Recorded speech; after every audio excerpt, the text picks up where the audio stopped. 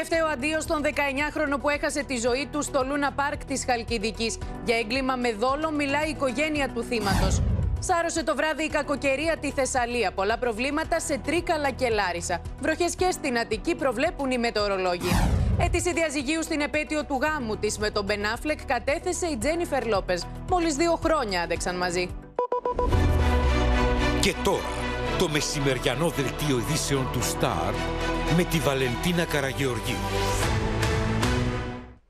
Καλό μεσημέρι κυρίες και κύριοι.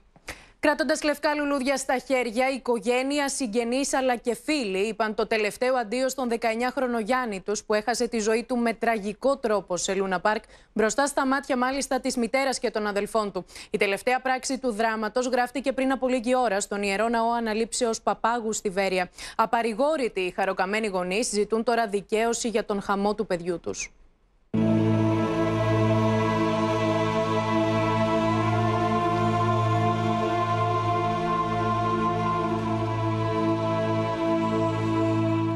Με το βλέμμα στο κενό και βήματα μηχανικά, οι γονείς και τα αδέλφια του άτυχου 19χρονου έφτασαν στον ιερό ναό Αναλήψεως Παπάγου στη Βέρεια για να τον αποχαιρετήσουν. Ο μικρός του αδελφός αγκάλιασε σφιχτά τη μητέρα του, σαν να ήθελε να της δώσει δύναμη.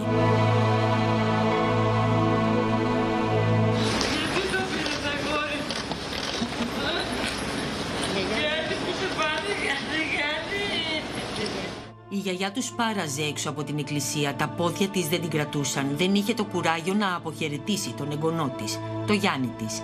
Λίγησε.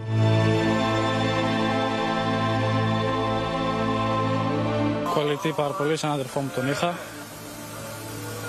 Μου λείπει πάρα πολύ. Και θα κάνω τα πάντα να μείνω δίπλα στην οικογένειά του και στα αδέρφια του. Παίρνω τον αδερφό του συγκλονισμένος και στο τηλέφωνο λιποθύμησε ο αδερφός του που μιλούσαμε να αποδοθεί δικαιοσύνη.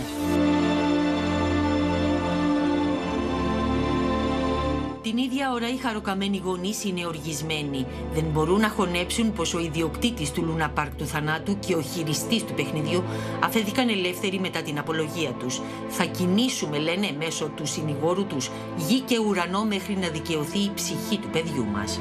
Από τις πληροφορίες που έχουμε είναι ότι υπάρχουν τρανταχτέ παραλήψεις που δείχνουν πραγματικά και τον ερασιτεχνισμό πολλές φορές της πολιτείας απέναντι σε τέτοιους χώρους που είναι καθημερινά και παίζουν και αθλούνται παιδιά. Θα ζητήσουμε την απόδοση ευθυνών και καταδικητικών παραγόντων οργανισμών τοπικής αυτοδιοίκησης, οι οποίοι δείχνουν κατ' ουσίαν ότι δεν γνωρίζουν και ότι δεν έχουν την υπευθυνότητα και σοβαρότητα για την αντιμετώπιση τέτοιων θεμάτων, με αποτέλεσμα να φτάσουμε δυστυχώς αυτό το τραγικό περιστατικό. Τι να πούμε, μας βγήκε στην τηλεόραση η Δήμαρχος και μας λέει όλα καλά.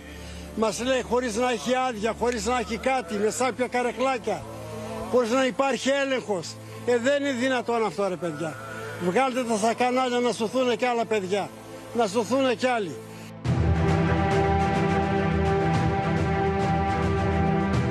Στα μέσα κοινωνικής δικτύωσης άνθρωποι από όλη την Ελλάδα καταγγέλουν ελλείψεις και κακοσυντήρηση στα παιχνίδια του συγκεκριμένου Λούνα Πάρκ. Ντροπή σε αυτό που καταντήσατε αυτό το μέρος που πριν μερικά χρόνια ήταν ωραίο. Αγενές προσωπικό που δεν ασχολούνται καν με τις ανάγκες των πελατών. Και από ασφάλεια ακατάλληλο. Απλά ντροπή. Βρώμικα, υπάλληλοι μόνο αλλοδαπή, παλιός εξοπλισμός. Πριν από δύο μέρες ήμουν στο συγκεκριμένο Λούνα Πάρκ και αλήθεια πέρασε από το μυαλό μου το θέμα της ασφάλειας και αν και κατά πόσο τηρούνται τα μέτρα ασφαλείας.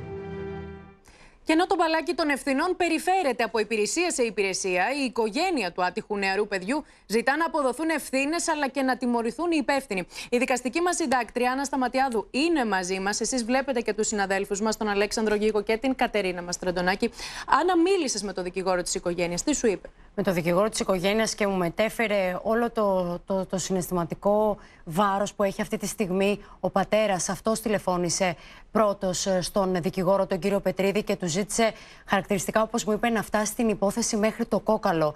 Να πληρώσουν οι πάντες, όποιο ευθύνεται, ακόμη και αν είναι δημόσια αξιωματούχοι. Όχι μόνο δηλαδή ο ιδιοκτήτης του Λούνα Πάρκ και ο χειριστής. μιλούν για έγκλημα με δόλο. Μιλούν για ένα έγκλημα και για μεγάλη μεγάλη αδιαφορία στο Λούνα Πάρκ και βλέπουμε όλα όσα αποκαλύπτονται. Ένα Λούνα Πάρκ που δεν είχε τα στοιχειώδη, δεν είχε άδεια λειτουργίας και τα μηχανήματά του, οι κούνιες ήταν σκουριασμένες, Βαλεντίνα.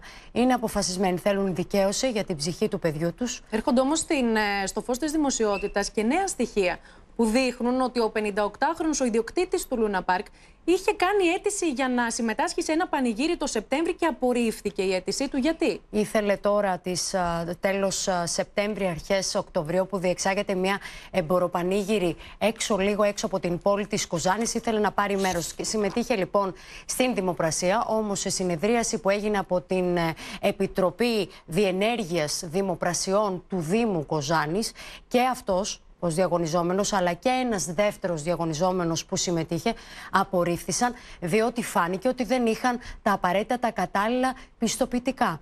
Βαλεντίνα.